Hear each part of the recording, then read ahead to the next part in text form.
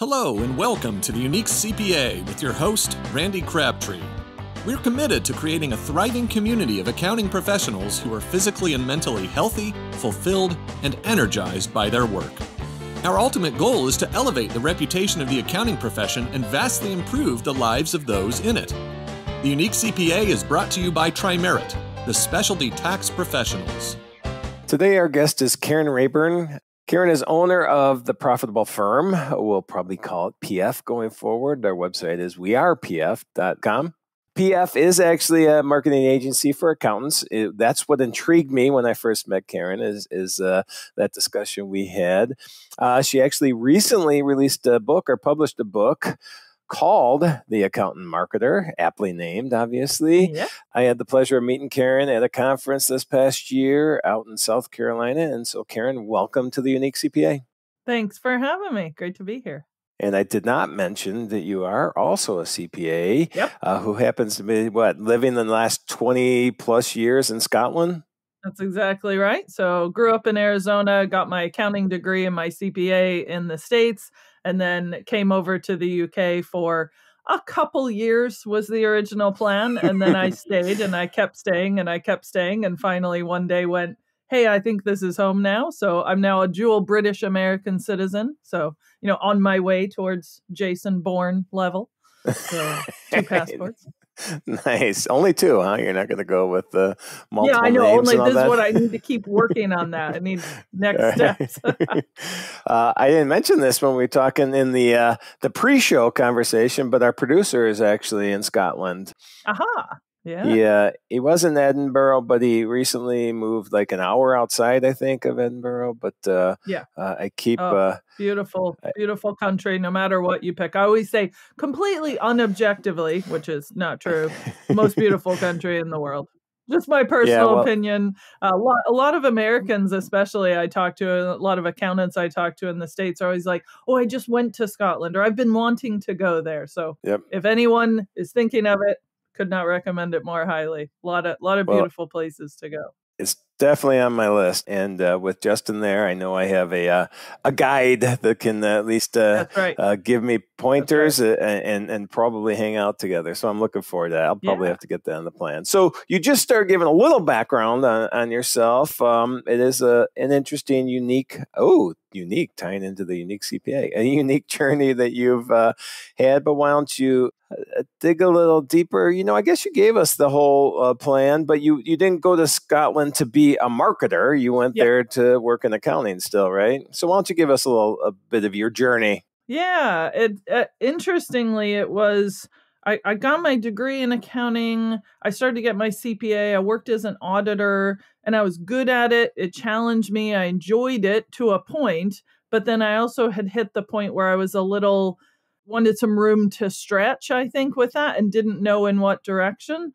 So when I originally went to Scotland, it, it didn't actually have to do with I want to get a particular job or work. I just wanted to go to Scotland. Oh, And I did one of those things where you go for a little while and then you come back and you miss it and you think about it and talk about it all the time. So you end up going back for a little while longer and then you stay and you stay and you stay. And I, I was fortunate enough to get a, a job in an accountancy firm in Scotland because I had the background as a qualified accountant with the auditing experience. But I worked for that firm as an auditor for six months.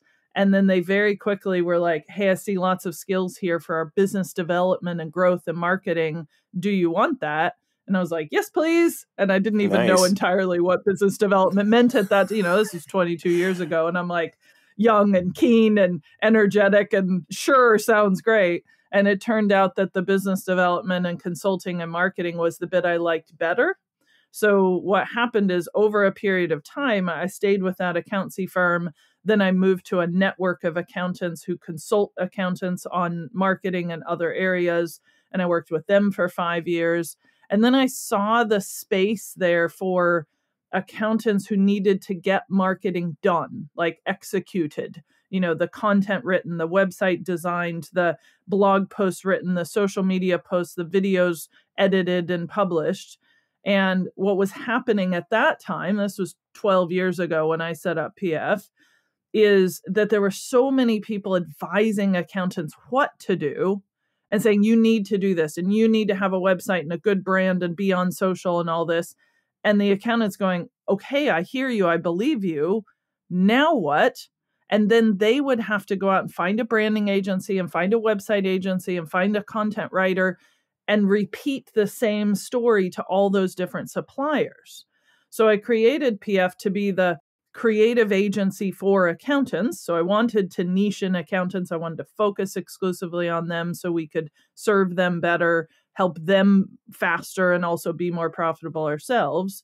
And and also because those are the people I knew. That was the audience I knew. That was what I understood.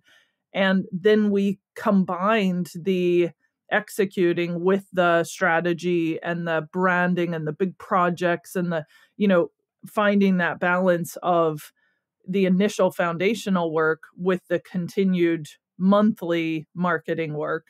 So we've become the outsourced marketing agency for accountants. You know, they outsource either a little or some or a lot or all of their marketing mm-hmm. to us depending on what they need, size of their firm, position of their firm, goals, etc. And it's very collaborative. You know, we were talking about how important collaboration is we consider that one of the highest priorities in marketing when you're getting help because you cannot abdicate well you can but it's a bad idea to abdicate your marketing. You know people call it delegation but what they mean is here do this stuff and i'll go run the business and that doesn't work because the marketing has to match the business and match the team and match the clients yep. so that's where it all flowed into and now we're in a place where as you said i've written the book you know i've got the accountant marketer book nice. that summarizes what we've been teaching and training accountants in we've got coaching groups we've got foundational work brand and website projects and then we do monthly work with accountants as well all right so this is obviously sounds almost like, and I've already used the term unique uh, uh, before, but now uh, from unique from a standpoint that the, this one stop shop. I don't know if that's the right way to say it, but I'm going to say one stop shop uh, for for all things marketing. But I love the collaboration part of things that you talked about. You know that they have to be actively involved. Yeah, because I think collaboration is just so important just in our profession in general mm-hmm, um, but mm-hmm, in yeah. everything we do. So so from that standpoint what you get into coaching with them and and how are they collaborating? How does that work? And what's the next step i guess from there? Yeah great question. What was interesting is when we began pf it was just to help accountants do stuff. So we started in like let's send emails for you. Let's create a website page. Let's help you run a webinar. And what happened was every time without fail, we'd go in with these noble ideas of running an email campaign, discover they didn't have a CRM system. They didn't even have all of their emails of their clients, much less their prospects on a list somewhere. So there were so many foundational aspects that weren't there, just basic marketing things. And I, I equate it to an accountant working with a new company a new business who doesn't have the bookkeeping in place before they need the management accounts and the P&L and the and the strategic discussions. So what happened at PF was that we backed up a bit. We began backing up and saying, actually, let's look at your brand and look at your website first because when we get both of those right, brand meaning far more than just your name and logo, but who you are, who you serve, what is the issue that they face, what your values are, and what your unique approach is. And then the website, again, more than a pretty few templated blocks or nice looking pages, but what are the core messages you need to get across to that audience? What are they struggling with? What's your call to action? What are you revealing about yourself on your website? So we did brand and website for a while. And then over time, we discovered we were also missing the okay, we need to make sure we're super clear on the goals that you have personally and for your firm. Because if we're going to help you with marketing, we've got to hark back to those goals and say, if your goal is to retire in five years, that changes the kind of actions you're going to take. If your goal is to double the amount of clients or half the amount of clients in the next year, that changes the approach and the types of marketing actions. So then we added that in. So now we have four foundational areas that we go through with every accountant we work with, which is their goals, their brand, their website and messaging, and their plan. So the actions that they have. And then what we discovered after doing those was that the more educated accountants were about how marketing works, the better those sessions went, the faster we were able to implement and create campaigns and get results from those campaigns. And we looked at that pattern and said, well, if the accountants who are most excited and enthusiastic or at least willing. Let's just say at least willing. We get the excitement later. Mm-hmm. And, and, often that happens. You know, accountants would say, listen, I'm not very excited about this, but I know I need to do it. And our goal, my particular goal as a, an educator and a trainer and a coach was to say, I want you to understand that this can actually be enjoyable. And you've got some messages in your head that are telling you I'm an accountant. I'm not a designer. I'm not a creative person. So I'm not able to do this, or this isn't my job. And we were helping then, still are helping accountants to understand that in order to do great marketing, when you understand that all you're doing is taking all that stuff that you do so well, talking with clients, having a great team, having a good strategy, caring about the firm you have, having values that are important to you personally and to the whole team all marketing is doing and and I know that makes it sound so simple but it is taking all of that that's in your head and in your actions and in your meetings and in the way people talk about you and putting it tangibly intangibly words visuals etc so that the prospect who doesn't know any of that yet sees it reads it engages with it and goes think these might be my people. Mm-hmm. And that's what we're educating them about so that when you come to marketing, you don't see it as, oh, I have a bunch of stuff I need to do. You know, do I need to do blogs? And we're like, most likely, yes, but let's talk about your audience and what they need. Are they more apt to read a blog post or are they more likely to watch a video? Mm-hmm. Would they watch an hour long YouTube video or is a 30 second TikTok going to be better for that audience? So it's dividing the what are the marketing actions I need to do from why are we doing this in the first place and then bringing them back together. And that's where the collaboration comes in. And that's where the coaching comes in. So I identified, this must have been about eight years ago. I just realized we were repeating the same sort of concepts about marketing to accountants.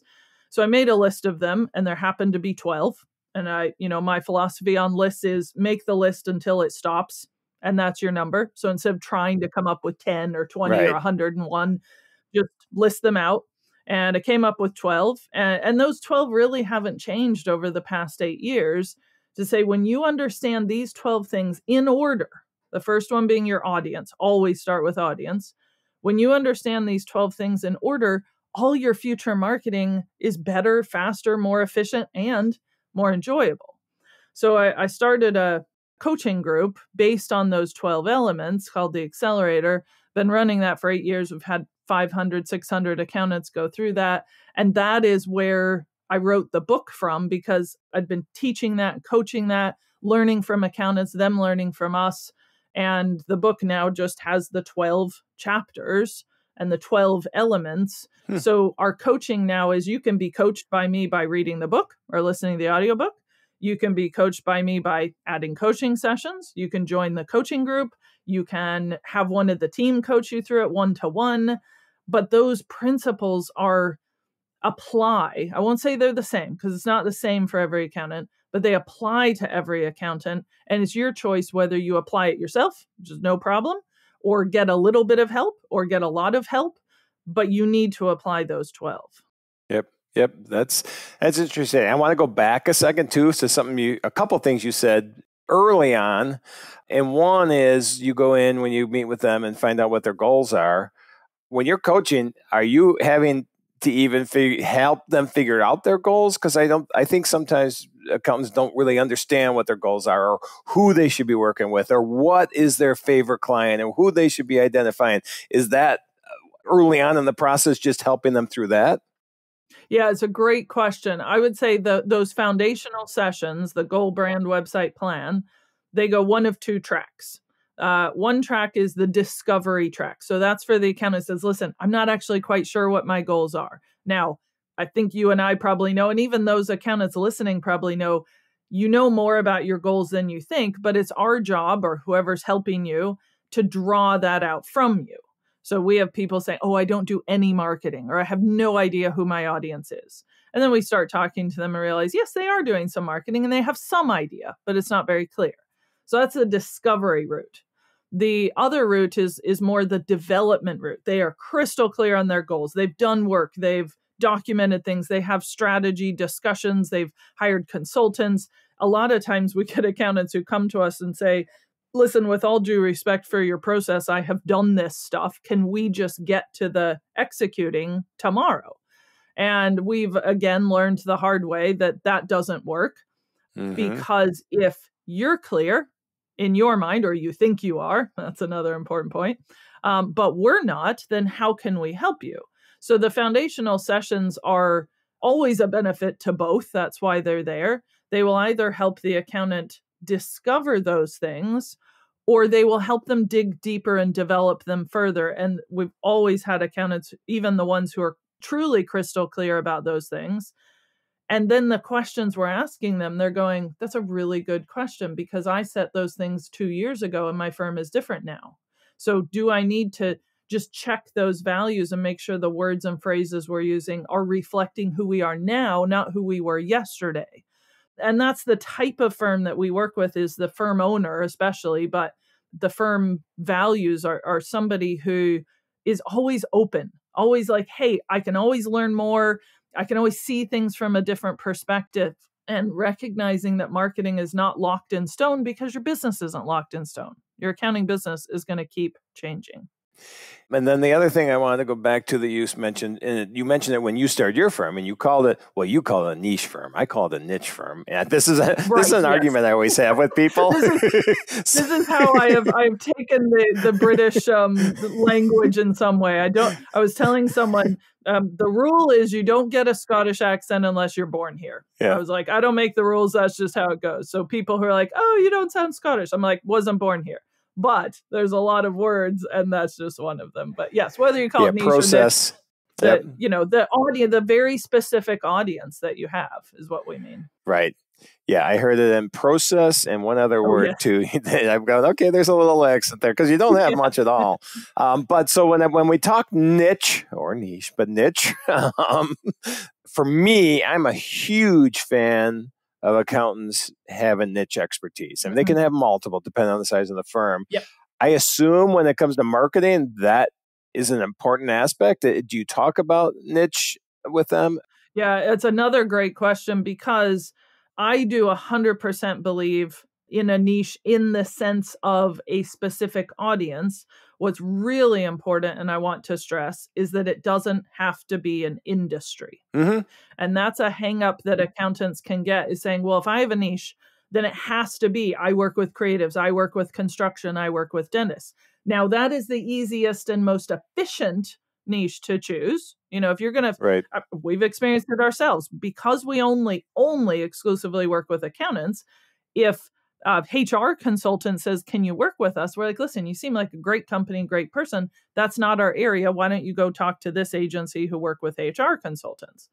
But when an accountant is considering working with us, they're like, oh, wow, you get it. You know the language, you have the history, but you're still working uniquely with each firm, then that, that helps and makes it more efficient. Same thing is true for accountants. So if you're able to do that, great. But if you're not, don't let that prevent you from having a very, very specific audience, which might be in personality type. You know, we work yep. with a type A, ambitious, owns multiple companies, for example. And you drill down into that and say the qualities and characteristics and fears and worries and motivations of these people are this. So then all of your marketing and your messages and your content is for people who will come to your website and go, oh, that is me. Mm-hmm. And one of the things I like to ask accountants is if someone goes to your website and it says, We work with small business owners who want to grow or have personal goals that they want to achieve, who in the world is going to be like, Oh, I feel so seen? You know, this is so amazing. Like right. they work with small business owners. Nobody's going to do that. It's still going to feel generic. So it's yep. your job as an accountant to identify what the patterns are with the clients you love. And this is another element Yep. that accountants need to face with their clients is you might feel an obligation to work with whatever prospect comes to you but that that obligation doesn't exist it's made up in your head you oh, have the right all accountants think that it is. Yeah, I'm sorry, I cut you off. and a lot of no but a lot of small business owners do that too i did it in the early days if an accountant came to me i'm Oh, yeah. well i'm obliged to help them right. but you're not obliged to help them because you need to work with the people you're best placed to serve Yep. and who you like and i would even go so far as love Yep. you know the kind of clients that you're like when the their name comes up on your phone you go as opposed to that heart sinking like oh this one again and if you have any clients and i guarantee you know those of you who are listening you know who that client is and if you still have one when the text or the email or the phone call comes and your heart sinks that's a, a little warning sign to you that not only that person but anyone like them or, or businesses like them are not a fit for you and it's your job to figure out why. What are those patterns? So then you go both ways and say well these are the clients we love these are the clients we really don't love and these are the ones in the middle and then it's your job to figure out how far on the scale you're going to go. Does that make sense Oh, complete. I do a lot of presentations on mental health awareness and especially in our profession. And that's what you just said is one of the things that I bring up. I mean, if your heart drops when that phone rings, then that is somebody that you need to figure out if there's a better opportunity for them or better option for them to work with someone else. It's same thing with team members. You know, just because somebody applies to work with you, if there's anything that is giving you red flags, or even if there's a bunch of what I call pink flags, which are not quite red, but they could be, Yeah. but if there's a bunch of those in the interview process, it's not going to get better. Yep. So release them to go work where they're best place to work so that you don't suffer the emotional cost, the financial cost. And you and I and everyone listening knows the emotional and financial and energy cost and team cost of taking on a client or a team member, but taking on a client who's not a fit, who doesn't match your values, who treats you and the team poorly, or is a nice person, but Mhm. and that's another one I always encourage accountants to listen to your own wording. If you're talking to someone and saying, listen, this client, they're such a nice person, but whatever comes after the but negates what went before. Yep. So that's nice that they're nice, but you're not in a charity. I'm presumably presuming all the accountants listening want to have a profitable business. And again, it's just saying it doesn't mean they're not a nice person. It doesn't mean that they're a horrible person who doesn't deserve to get help. It just means you may not be the one that's for them. Yeah, and I think that's so important. I think that's honestly, especially if we've just started a firm, our mindset is take on everybody, help everybody. And honestly, we think we're obligated, we really do, to help everybody. And we got to get rid of that mindset. So if you're starting your firm, sure, take on who you need to to have revenue. Yes. But as you point. grow, as you grow, as you find the passion, the the client that you're passionate Mhm. about, just start to veer that way. Start to, you know, start to talk to Karen and get and start to build the marketing around that client. So Yeah, and it, I love what you said there about starting to veer that way. A lot of accountants are thinking, okay, fine, I hear you. I've got to go all in. I've got to pick this niche, whether it's an industry or focus, and I'm not allowed to take anyone else. And we're not saying that. We're saying, you know, one of my phrases is start small, start safe. Yep. Start with I something. love it. There's just going to be a marginal improvement or the minimum viable marketing that you can do that will make that a little bit better and then make it a little better and a little better and a little better until one day you suddenly realize, hey, I've got a really clear idea of who we work with. It's on our website, it's in our marketing. When I have a sales call with a prospect, I am able to say, do you know what? From what you've shared, I really don't think we're the best fit, and I honestly wish you well. And, and I've experienced that myself in PF sales. We we had somebody come to us recently who has so many good things going for them. There were things that we could potentially help them with, but for a variety of reasons, we both at the end of the call said, I'm not sure that this is right right now. Right. And my priority for them was, and I told them this I said, We've had some experiences like you're sharing And our experience is that if you started with us right now, my concern would be in three months, you'd be very frustrated and feel like you're not getting where you need to be. And this is why. And if you're ready and willing to go slowly and take your time, we can help you. But if you want to jump in fast tomorrow, just get somebody to do some executing stuff if that's what you want. Because what PF is best at is the the slow and steady wins the race. Quality over quantity. Start with the good stuff. Get the foundations in place. You know accountants look at the the google maps of marketing and go but i could take this road. It's a shortcut. It'll only take me 30 minutes. And we go i know that google maps says that but we've driven that road and actually there's a bridge on it that always gets stuck and always gets flooded and it's supposed to rain this weekend so if you want to do that it's going to take you two and a half hours your car might break down and then you're going to have to come all the way back around and start again. Right. So if you want to do that, feel free. But if you want to do it right, take the long road and it's better and easier and as you said, less mental and emotional strain along the way. Yep. So that's a approach that we take. So, so a couple things I want to touch on. Probably the future of, of marketing or where we are now and what's going to change. But before even that, yeah. and we've been talking about marketing and i think everybody understands what marketing is but i think there's some people that are like okay what do you mean what am i going to market how am i going to market and and you've mentioned a couple things you know webinars i'm, I'm guessing being a guest on a mm-hmm. podcast mm. uh, different things so what are like the key the key things that you now suggest people do and that I, i'm guessing it's different each client but from a marketing standpoint what are some of the key things yeah, I, I mean, broadly, I, I always have and I still do recommend what's called organic content marketing. Yep. So that just means you are creating content in a variety of formats. Could be a blog post, could be a blog post with a video, could be a video series, could be social media posts, could be a whole range of, of formats or media.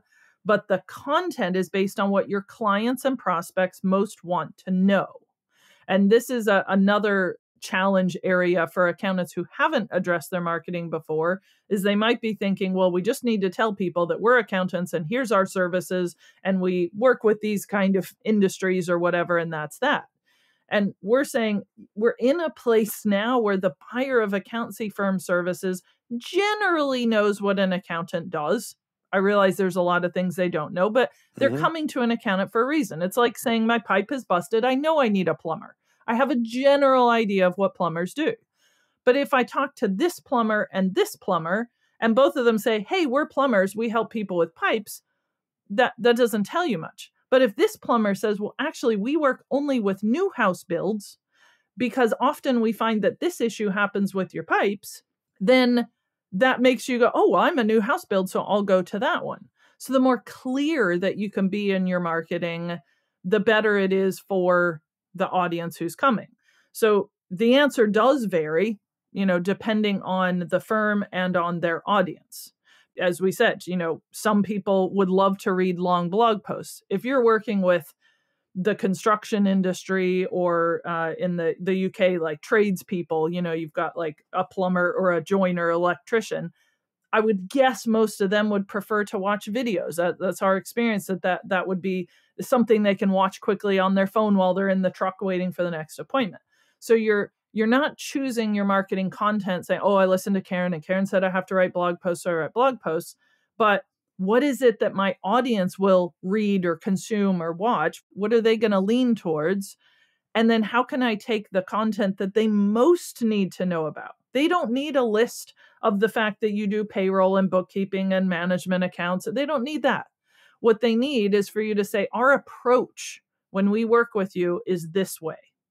And, and I often say it's like when you're looking for different suppliers. And I've had this happen to me before. I'll say, oh, we need help in this particular area. And you talk to five or six people, and every single call, they are saying to you, this is how we approach it. This is who you'll be working with on the team. This is how our pricing is structured and why. And here's the benefit for you the more you can put of that in your marketing and on your website and in your content, the better the sales call will be because then you don't have to spend a half an hour repeating all the things that you've repeated in every other sales call ad infinitum to eternity.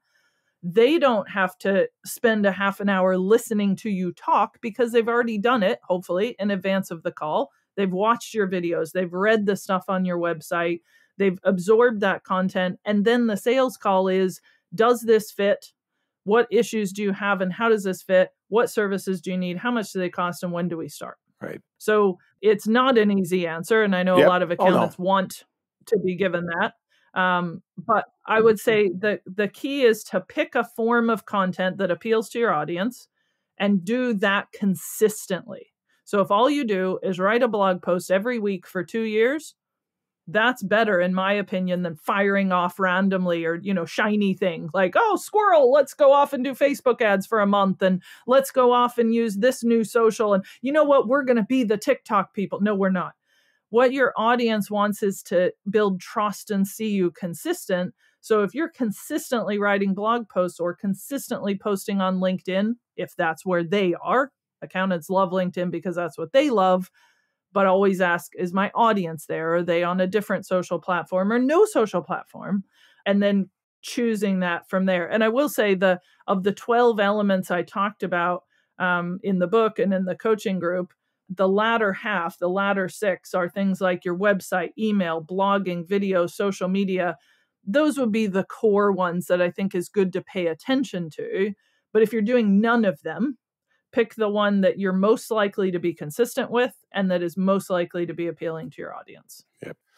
So I think that's great advice. You know, it's not one size fits all. It's what's best for your potential client base and all that. And, Yep. and we know we've seen what's going on just in general. Social media has been a big part of of marketing in general. And I see a ton of firms getting a ton of inbound leads just through the correct social media for them. For us right now, YouTube has become one of our biggest uh, uh, lead generators, and it just seems like people are going to YouTube to to get uh, uh, information. Um, what about one of the key things, and it's affecting every part of you know it seems like the world right now, but like ChatGPT or AI in general, is this going to be affecting marketing? Do we see future trends in that? Yeah, absolutely. I mean, this is one of those pivotal things uh, when you look at the the the charts, you know, of what happened with uh, Twitter, TikTok, and Chat GPT, and you look at the time it took each of those to reach a hundred million users. You know, you're talking like nine months and then three months, and Chat GPT was like five days. Wow. That's that's my my rough understanding, but it Yep. is it is like lightning fast. And whenever something happens like that, where something takes off so fast that the world, including those who are creating Chat GPT or updating it, are behind because the world is grasping at it so fast. That to me is an indicator that this is just the way. It's all it's like a river. Like you are not going to stop it. So Mhm. if anyone is listening, think, oh, this is a fad, this will drift away. I, I would argue that by saying, did you say that about online accounting software? Did you say that about, you know, some of these things that just took off and the the people who picked it up straight away and at least were willing to do something with it uh, benefited from that. And you know, the river is going to bring you along the way eventually, whether you ride it in your boat or whether you're, you know, swirling around in a whirlpool and, and struggling with it. That being said, we are also still in the very early stages where we're scrambling and it's changing and we're figuring out how it applies. You know, almost like, okay, we still have horses on the road, we still have horseless carriages, and now we have cars and we have this Model T.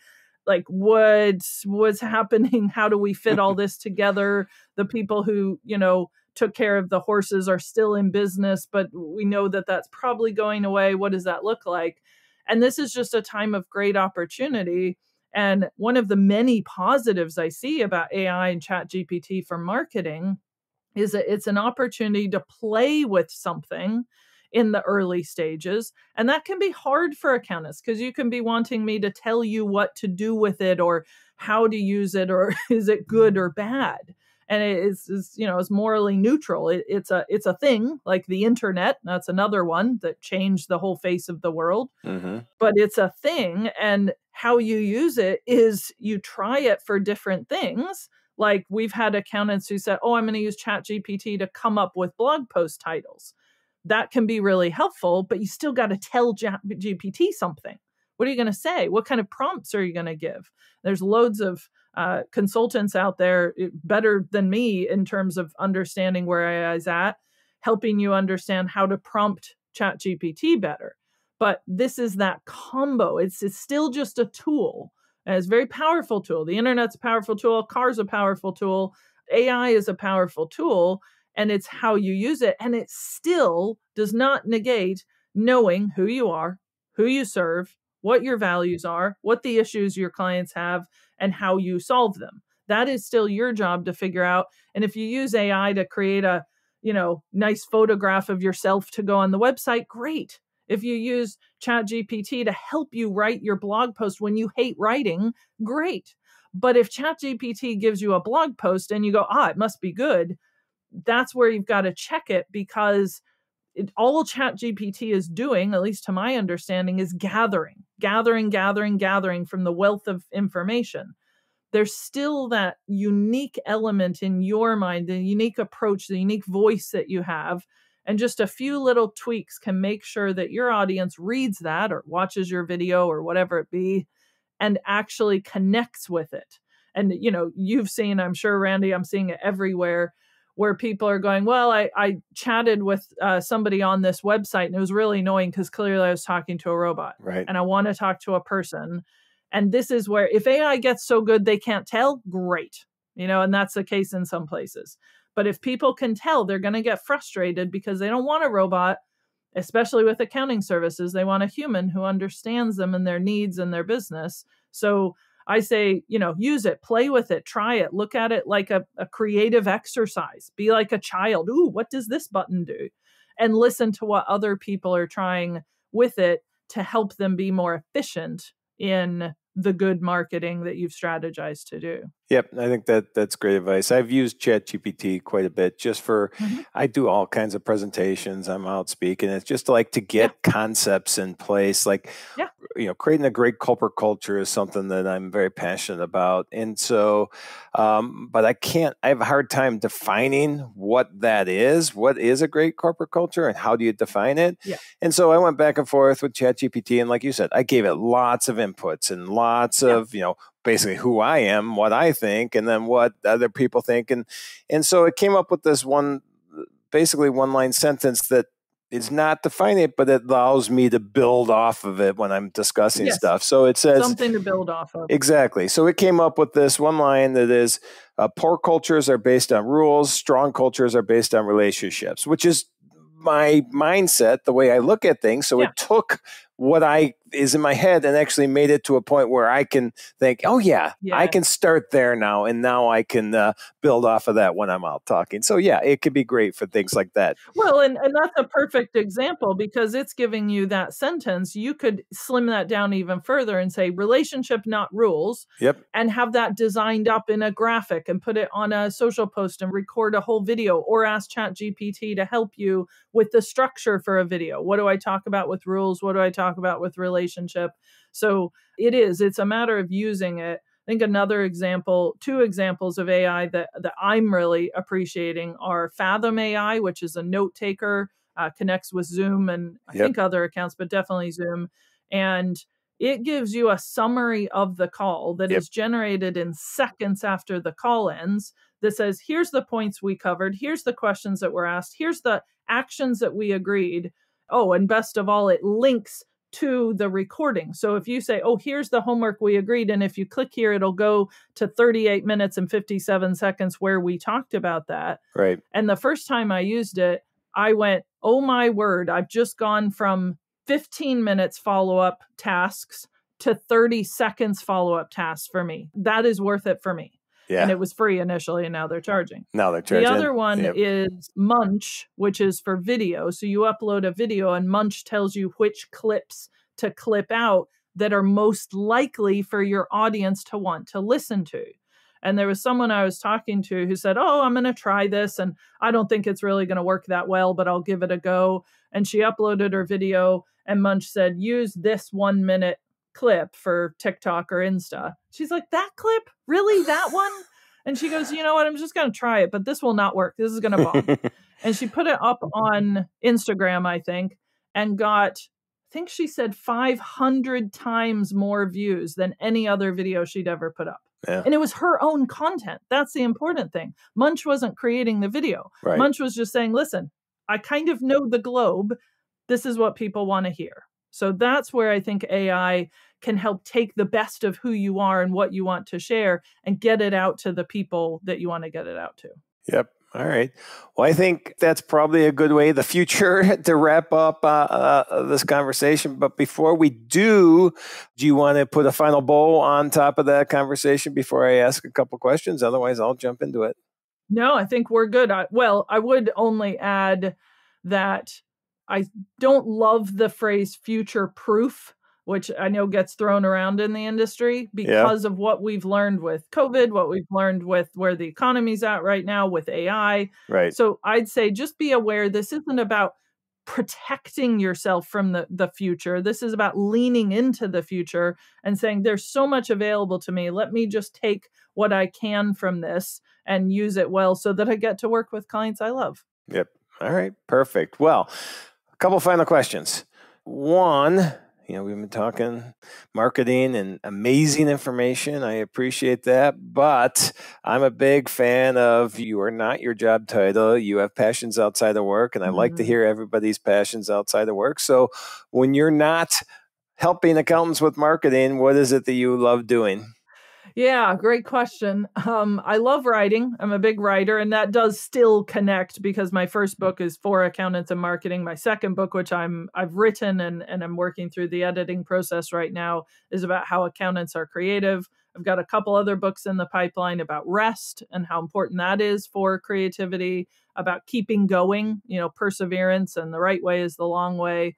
So writing is something that comes very naturally travel's a big one and especially i'd say in the last couple years really focusing my travel on scotland because it's a small country but has so much you know i've lived here 22 years and i'm still i've got more islands to visit and mostly the scottish highlands and islands i'm really passionate about those and walking big fan of walking and hill walking, which again, you know, combining with getting out into the outdoors. So didn't I see? Uh, didn't I see somewhere uh, coffee and whiskey or something like that too? Our uh, yeah. So pillars. I have five like personal pillars, and one of those is coffee, one is whiskey, um, and one is walking and magic.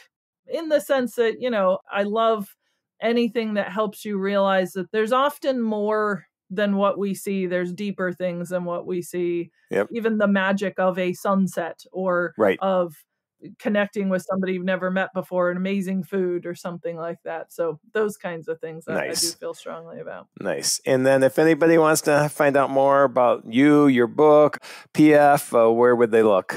Yeah. So me personally, you can look me up on LinkedIn. My website is karenlreyburn.com.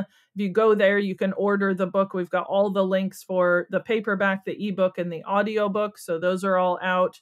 Uh, so go to karenlreyburn.com for that. And for PF, go to wearepf.com. And there's a button there that you can fill in a form and have a chat with us. And, and our approach is listen, if we have a chat and we're not the one for you or you're not the one for us, you know we'll be honest about that. And, and i always want to make that clear because a lot of accountants we talk to have had bad experiences with marketing agencies or have worries and fears like oh no they're going to sell me something i don't want and will regret later. And it I, our philosophy is we will have as many calls with you as you need or want whether it's two or six or whatever to answer every question you have so that if you decide to work with us when you do sign the quote you feel confident, excited, motivated, and sure that this is a direction you want to go. Nice. Well, that sounds awesome. Well, well, Karen, I appreciate you being here today and being a uh, guest on the Unique CPA. It's a pleasure. Thanks, Randy. Thank you for joining us today on the Unique CPA. You can find the show notes for today's episode and learn more about Tri-Merit at theuniquecpa.com.